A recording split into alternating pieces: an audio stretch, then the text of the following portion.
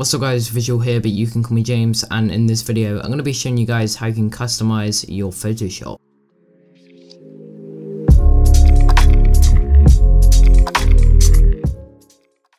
So guys, before I do go on to show you how to customize your Photoshop, I'm going to be showing you the brand new products on my Sellfy page. If you aren't interested in these, then please go ahead and skip the video. But if you are a upcoming graphic designer or you just want to improve your graphic design work, then be sure to just watch this part of the video. It's going to be really, really short and then I'll actually explain it. But I will have a time on screen right now if you are wanting to skip onto the video and just only know that. But like I said, this is really important. Anyways, quickly going into it, as you can see on my brand new Sellfy page, uh, which is sellfy.com forward slash visual JD if you didn't know already. The first thing I have is my Inferno pack. This has been out for quite a while now, but it's actually 40% off. This deal is going to end on Monday, so I definitely recommend you pick it up while you can. As you can see, it's normally $6.99 and it's only $4.19, so I definitely recommend you pick that up for a 40% off discount. If you do want to see everything in the Inferno pack, I'll leave a link in the description down below to the video where I showcase everything that is in the pack and it's a really long video so I definitely recommend you check that out if you are wanting to purchase it. Anyways, the next brand new product here I have is my pre-made revamp template PSD. But as you can see, um, it is a PSD template pack which you get a uh, YouTube banner, a Twitter header, and also an avatar, which you can use for both YouTube and also Twitter. Anyways, as you can see here, it works for pretty much any color. Here at the top, I have yellow, then blue, and then pink but you can use uh, the hue and saturation bar to actually change the color of this. And like I said it is fully editable so you can just literally grab your text tool click on the text and change the text. It's as simple as that. It is currently £4.50 but I do believe this is quite a good price compared to actually purchasing a design from me or another designer because you can easily edit the template yourself. For all of these Sellfy products there is information at the bottom. If you would like to read that then I definitely recommend you do so. Like I said you can read that and then purchase the product. So the next thing here I have is an editable YouTube thumbnail PSD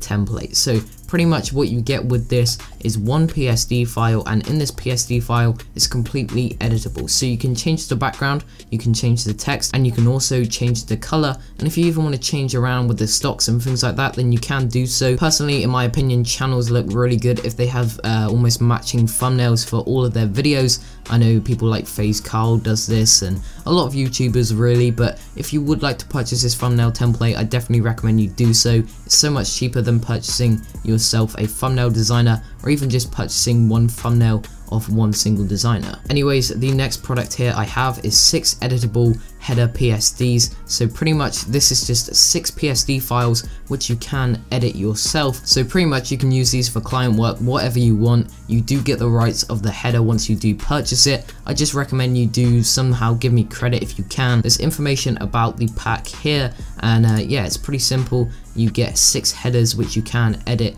all of the text and the first one here you can edit this logo and uh, yeah like I said the text here is editable the uh, extra text that's on the headers as well is editable and also the social media icons. And the last and final pack here I have is personally my favorite one. This is my 3D text Lightroom pack. So uh, this is £2.99.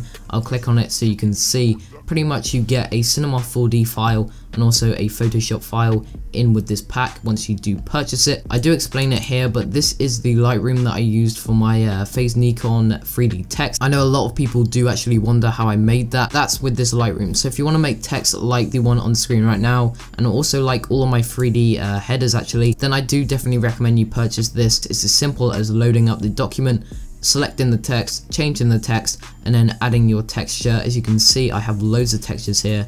And then once you put it into Photoshop, I recommend you put one of these layer styles on that I do include in the pack. Anyways, that is the 3D Cinema 4D Lightroom, and that is pretty much all of the brand new packs that I do have on my Sellfy, if you would like to check them out. Anyways, that is it for that. This video isn't going to be too long, um, uh, well, I don't want to make it too long. Obviously, it will have that bit at the start, but the actual customization for your Photoshop isn't going to take you too long. Anyways, the first thing I have here is you can actually move parts around in Photoshop. I know this sounds really self-explanatory, but you can actually uh, move this over here if you want. I know a lot of designers move the tools over to this side because you can actually work with your layers while you have this over here Personally, I keep it next to the ruler here, and um, yeah, like I said, you can literally drag stuff, you can move it over here, it's really up to you. Like Photoshop, you have to customize it so it works best for you. Personally, I use the characters a lot, so I do have my characters up here at the top, and then I keep a lot of room for my layers because I work with quite big files and quite a lot of layers, so that's why I do have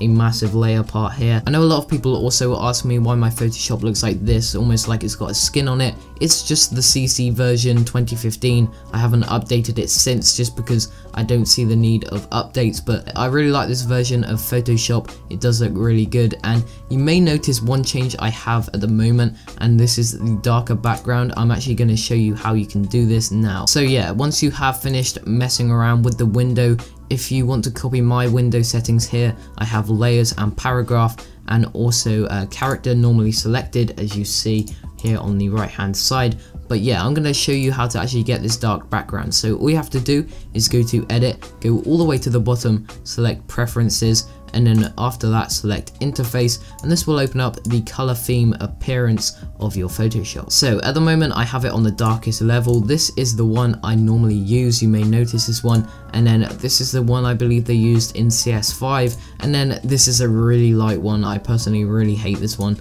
but as you can see the dark one is a bit easier on your eyes when you are working in Photoshop.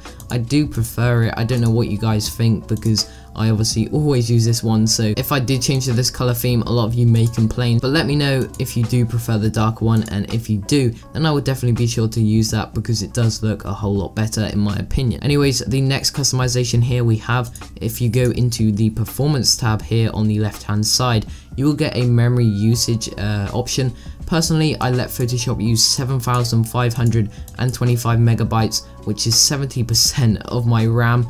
This is because I use Photoshop all the time. If you want to even increase this more, then I definitely recommend you do so if you're really only using Photoshop on your computer. But if you are playing games and stuff, then I definitely recommend you turn this down. The reason I have it so high is because all I do really is Photoshop, that's why I let it use all of my RAM pretty much, well 70% of it. And then here on the graphics processor settings, if you do have a good graphics card, I definitely recommend you select the use graphics processor option. It will help you with your Photoshop and also run faster. And another thing I know I get a lot of questions asked about is how I can also step back really quickly and how I can step back a lot of layers. So if you want to increase your history states, then um, you can do so. What it will do is pretty much let you uh, edit step back as many times as it says here. So mine is 50, so I can edit and step back 50 times, uh, which is almost half as you can see here. If you want to lower that down, it will also let you use less RAM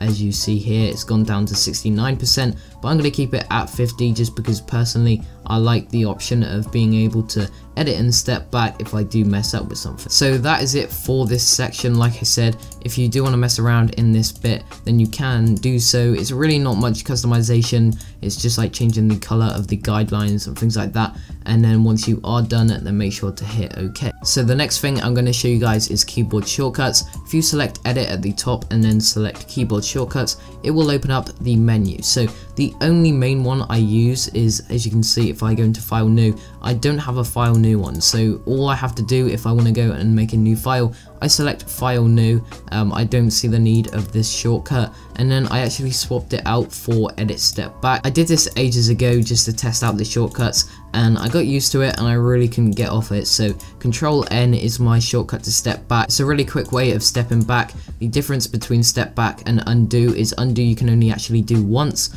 but step back you can do as many times as you want. So I never really press control Z. I always press control N because it's so much faster and I can also like I said I can step back as many times as I want. That is really the only keyboard shortcuts I use but you can open these up and you can make shortcuts for them. If you want a shortcut are making 3D text and you can do so. If you want a shortcut making uh, anything really you can do it in this menu. Personally, I just don't really mess around with any of these. Shortcuts have never really bothered me in Photoshop, but once you do get used to a shortcut, it will certainly help you and just make you design a whole lot quicker. Anyways, that is it for the customization. You can't, like I said, you can't do too much in Photoshop other than change the color of the uh, actual appearance itself and also just mess around with the interface like I said just going to window selecting different things seeing if they work well like I said only select the ones that you use a lot. Anyways guys that is it for the video. I'm gonna cut it off here. It's probably really long because of that really really long intro. But yeah like I said hopefully you did enjoy. If you did make sure to leave a like. I really would appreciate it. This has been visual or James and I'm out